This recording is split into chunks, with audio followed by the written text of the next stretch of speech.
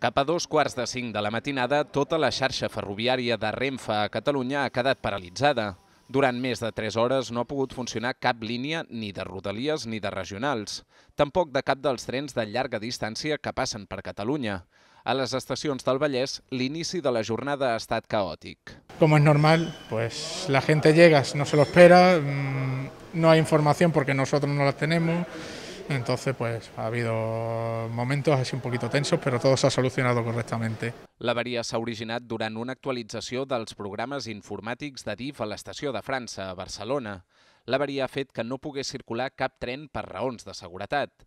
Antonio Carmona, el portaveu de Renfe a Catalunya, ha comparat el problema amb el que passa en un aeroport quan la torre de control no pot comunicar-se amb els pilots dels avions. Renfe ha demanat als usuaris que utilitzessin mitjans de transport alternatius. De fet, no se'ls ha deixat ni accedir a les estacions perquè no s'hi acumulessin persones a les andanes. A la cafeteria situada a l'interior de l'estació de Granollers feia molts anys que no veien una situació semblant. Yo vengo a las 5 y no había. O sea que imagínense los buses como iban. ¿eh? Me he tenido que venir en taxi. Sí que había gente tanto dentro como fuera. Sí. Esperando estaban cabreadas, tomando foto a la que estaba todo en blanco. Habría, se han caído las... Cap a un quart de nou del matí s'ha solucionat l'averia i s'ha pogut començar a restablir el servei ferroviari a tota la xarxa convencional de Renfe, tot i que amb alteracions en el recorregut d'algunes línies.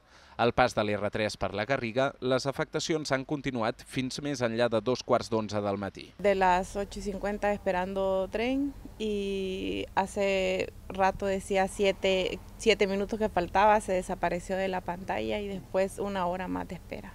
A una hora i mitja. Una hora i mitja, no. Uh, només van a l'Hospitalet i prou.